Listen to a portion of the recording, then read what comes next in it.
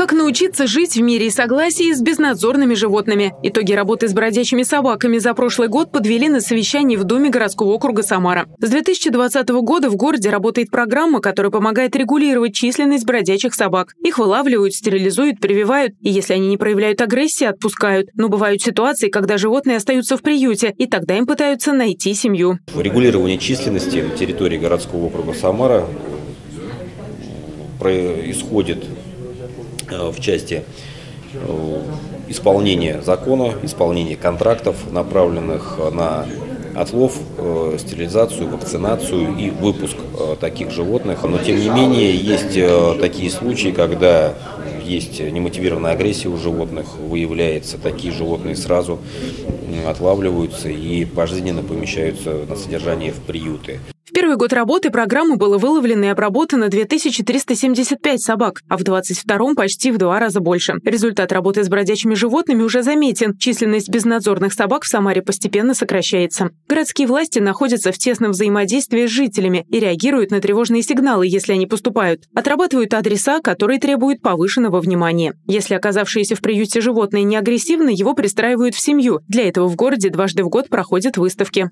И сегодня вот эффективные способы Э, увидели, какие вот выставки, которые проводятся весенние-осенние, где э, клубы, организации, которые э, ну, содержат, занимаются животными, значит, приведя их в надлежащее состояние, то есть они все здоровенькие, как говорится, упитанные, причесанные, мытые, чистые, да, так сказать, вот, предлагают новым хозяевам. И это работает.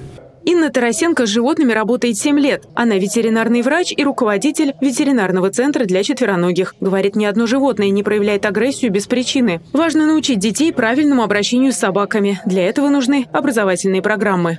И, безусловно, конечно, образовательная программа в отношении детей, как младшего, там, дошкольного возраста, так и школьного возраста, и приобщение их к волонтерской деятельности, потому что горожан все равно в первую очередь беспокоит это покусы детей, да, и важно объяснить, как себя правильно вести с животными, что делать, если вдруг возникла какая-то напряженная ситуация.